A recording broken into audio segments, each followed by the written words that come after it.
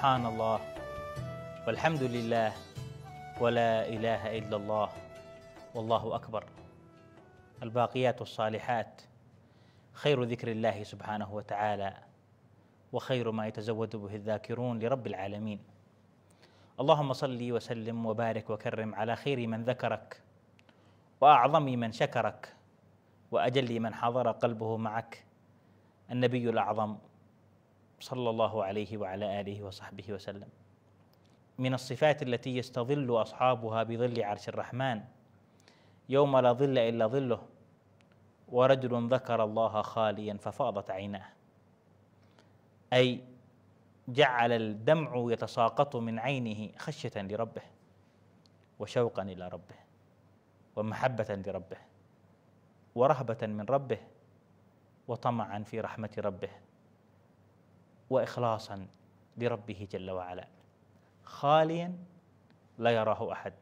خاليا ليس في قلبه غير الواحد الأحد. خاليا عن كل ما سوى الله. خاليا عما لا يحبه الله من الاعتقادات السيئة والصفات الذميمة والأعمال التي لا يرضاها ربنا جل وعلا. ما أعظم صفات أولئك النخبة الذين يظلهم الله في ظله يوم لا ظل إلا ظله. عبر عن إحدى تلك الصفات سيد السادات وقدوة القادات محمد صلى الله عليه وعلى آله وصحبه وسلم بقوله ورجل ذكر الله خاليا.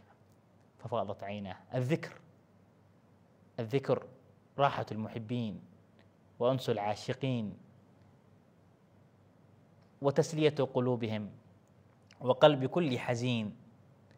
تذكر المحبوب به تفرج القلوب تذكر المحبوب به تغفر الزلات والذنوب ومن يكون محبوب المؤمن إلا ربه إلا خالقه إلا إلهه سبحانه وتعالى. إذا ذكر المحبوب عند حبيبه ترنح نشوان وحن طروب. ذكر العارفين يختلف كثيرا عن ذكر الغافلين.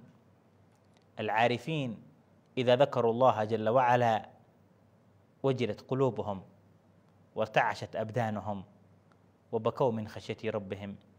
إنما المؤمنون الذين إذا ذكر الله وجلت قلوبهم. وليسوا من القاسية قلوبهم عن ذكر الله جل وعلا. أحد السبعة الذين يظلهم الله بظله يوم لا ظل إلا ظله رجل ذكر الله خاليا ففاضت عيناه.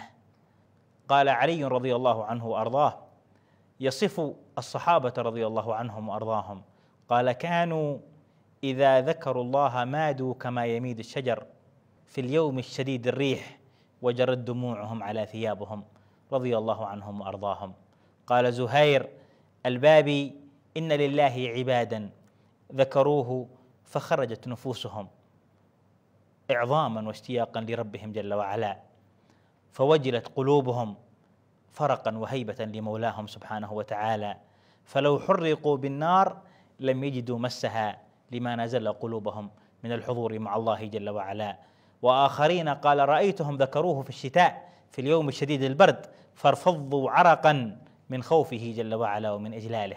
أنموذجنا في هذه الحلقة هو الإمام الفضيل بن عياض فضيل بن عياض بن مسعود بن بشر التميمي المكنى بأبي علي. خراساني المنشأ. ولد في ناحية مدينة مرو. كان في أول أمره قاطع طريق يقطع الطريق على خلق الله جل وعلا فيسلبهم وينهب أموالهم. يقطع الطريق بين أبيورد وسرخس من أرض خراسان. واستمر على تلك الحالة حتى إن الناس كانوا يخافون منه ولا يمرون في الطريق خشية من أن يسرق عليهم أموالهم. وكان منهمكا في المعصية. حتى أنه كان يعشق جارية وكان يوما من الأيام يتسلق الجدار لكي يصلوا إلى معشوقته تلك. وهو يتسلق الجدار ويرتقيه إذ سمع تاليا يتلو القرآن وسمع قول الله تعالى ألم يأني للذين آمنوا أن تخشع قلوبهم لذكر الله وما نزل من الحق؟ فلما أن سمعها خفق قلبه.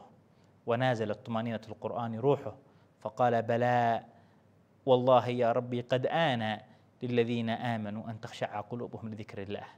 وهي لحظة ذكر الله فيها خاليا وفاضت عيناه فأقبل على مولاه جل وعلا فكان الفضيل بن عياض كان الفضيل ذو الرتبة العظيمة أوصله إلى ذلك المكان ساعة ذكر الله فيها خاليا ففاضت عيناه. حبا وشوقا إلى ربه جل وعلا. حتى خرج من ذلك الجدار وانتهى به المسير إلى خرابة وفيها قوم يتحدثون. قوموا هيا بنا نسير قبل أن يأتينا الفضيل ويقطع عنا طريقنا. فإذا بالفضيل يناديهم ناموا واطمئنوا حتى تصبحوا فإن فضيلا قد آمن وتاب ورجع إلى ربه جل وعلا وأناب إلى خالقه. كانت لحظة ذكر الله فيها خاليا فبلغته أعلى منازل الصديقين فصار علما من أعلام المسلمين ومن ذا الذي يقرأ التاريخ الإسلامي؟ فلا يعرف من هو الفضيل بن عياض. أوصله إلى ذلك لحظة من لحظات ذكر الله خالية من أعظم ما نستفيد من هذه القصة ومن هذا النموذج كيف نحن مع الوقوف عند كلام الله جل وعلا؟ مهما بلغت بنا المعصية مهما بلغت بنا الذنوب مهما بلغت بنا السيئات لنصغي إلى كلام الله عل تلك الآية التي نصغي إليها أن تداوي جرح قلوبنا وتشفي سقام أرواحنا فتوصلنا إلى ربنا جل وعلا. فلنخشع ولنخضع لذكر الله جل وعلا. نرجو منه أن يظلنا بظله يوم لا ظل إلا ظله. إنه سميع مجيب. والحمد لله رب العالمين.